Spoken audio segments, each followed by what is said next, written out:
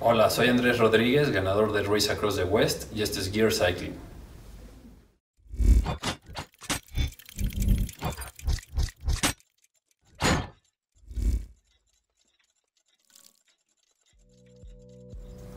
Hola Andrés, para los que no te conocen, ¿te podrías presentar por favor? Bueno, soy, soy Andrés Rodríguez, me dedico a- al ultraciclismo. Son carreras de bici de más de 600 kilómetros o 400 millas.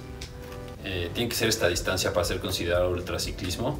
Eh, me dedico al 100% de, de mi tiempo, me dedico a, hacer, a entrenar y a hacer este tipo de carreras. Ok, sabemos que acabas de regresar del Row.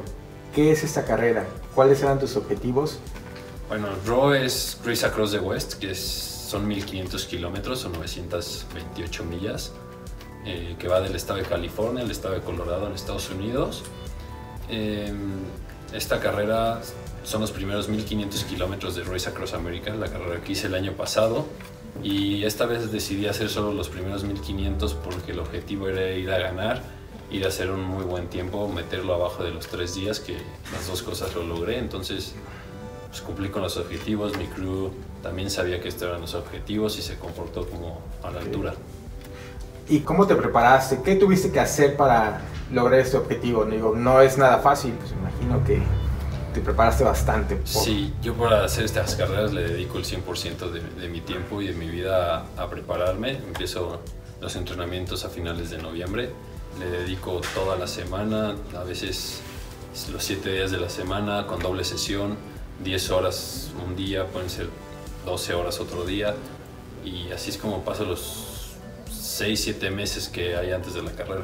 Oye, lo que todo el mundo se pregunta, vaya, ¿en qué momento duermes? En, en esta carrera eh, tenía planeado dormir máximo dos horas. Ajá. Creo que dormí solo 40 minutos en 68, en 67 horas de competencia. Dos, tres bloques de 20, 10 y 10 minutos más o menos fue lo que dormí. Como que esta vez, al saber que iba en buen lugar, la ansiedad de seguir pedaleando no me dejaba dormir. Por eso es que dormí tan poco tiempo. O sea, 10 minutos sentía que me recuperaba y seguía pedaleando para no seguir perdiendo tiempo. Oye, ¿qué tipo de bici usas? ¿Es solo una bici o usas varias bicis para este, esta competencia? A esta competencia llevé específicamente tres bicis, dos cuadros iguales y una bici de, de contrarreloj porque la primera noche es bastante plano, entonces con la bici de contrarreloj sabía que iba a poder ganar algunos kilómetros. ¿Y qué promedio de velocidad es más o menos el que, el que usas en la carrera? Hasta el kilómetro 600 y tantos logré mantener un buen ritmo, unos 30 kilómetros, 28, 30 kilómetros. Es muy buen ritmo para 600 kilómetros y la cantidad de metros ganados, que es en total son 15.000 metros ganados en la carrera, entonces mantener un ritmo de 29 y 30 kilómetros por hora es bastante bueno. ¿Y el calor? ¿Fue algún obstáculo también? El calor sí al principio me hizo bajar un poco el ritmo, promediamos en las primeras 10 horas de carrera en el día arriba de 40 grados y la primera noche promediamos arriba de 35 grados, así que fueron 18 horas durísimas de calor. Eh, Empecé a tener ahí algunos síntomas de deshidratación, pero no, nada grave. Usaste este casco, el Game Changer. Estamos hablando que estabas en temperaturas muy altas. Este es un casco ventilado, está diseñado especialmente para carreras de velocidad. ¿Tuviste algún contratiempo por usar el- el- un casco cerrado? No, la verdad es que tiene muy buena ventilación el Game Changer.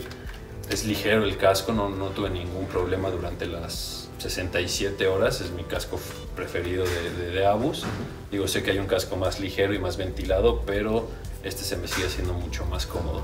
Platícanos más, ¿cómo lo sentiste en cuestión de sudoración, eh, los straps, todo esto? En e- este modelo en específico eh, me gusta porque los straps eh, no, no se enredan como en algunos otros modelos o en algunas otras marcas, que esto empieza a molestarte, siempre está, siempre está derecho. Y la verdad es que para mí eso es un parote. No estar aquí nada más con la barba, todo te hace un relajo después de tantas horas arriba de la bici.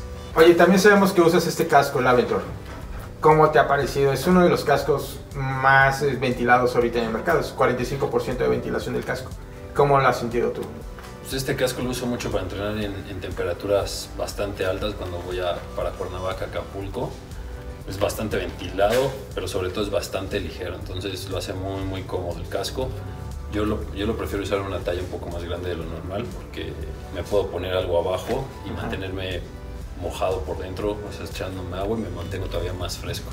Oye, ¿alguna recomendación a las personas que pues realmente no, como que no les gusta usar el casco? Se les hace algo, Algo to- tonto, tonto. y cómodo, ¿no? La verdad es más tonto no usar el casco que creer que te ves tonto con el casco. O sea, yo uso el casco hasta para ir casi al uso. Cualquier cosa que te Claro. caigas es lo que te salva de desde abrirte hasta quedar ahí con un buen, un buen golpe. Entonces, sí, siempre es recomendable usar el casco. Súper. ¿Y próximamente tienes alguna otra competencia? Sí, ¿Qué, qué tienes planeado? Tengo dos carreras todavía, es lo que queda del año. Una son las 24 horas de la Ciudad de México, el siguiente 20 y 21 de julio, aquí en el Autódromo Hermanos Rodríguez. Y, pero la carrera en la que más me importa ahorita, en la que me voy a enfocar mis entrenamientos, es el Mundial de 24 horas en, en California, donde voy a saber dónde, está, dónde estoy parado, cuál es mi nivel contra, contra los mejores del mundo. Bueno, pues muchas gracias Andrés por visitarnos y platicarnos un poco de todo esto que acabas de, de hacer y pues mucha suerte en tus competencias y esperemos los mejores resultados. Gracias, gracias a ustedes por la invitación y el apoyo. Los invito a conocer la sucursal de aquí en Gear Cycling en San Luis Potosí 196, donde encontrarán toda la variedad y toda la gama de los cascos AUS que se venden aquí en México.